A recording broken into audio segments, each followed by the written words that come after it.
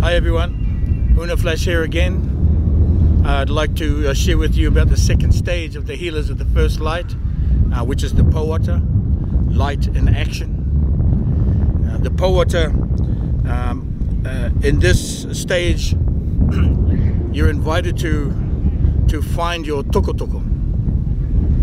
This piece here, your talking wood staff, your staff. You're invited to to learn about the staff and um, and the uh, activations, the codes, all the uh, not all the movements, but many movements, and how you connect to the staff, and how the staff connects to your intention, and how your intention uh, activates and uh, initiates uh, what it is of need, what it is you are serving. So the Pouata is light in action. You, you will learn about your staff, the energy and the vibration and the frequency of it connecting to you in a, in a more powerful way such as this. You learn these these these actions like this what they actually mean and, and, and what they can actually do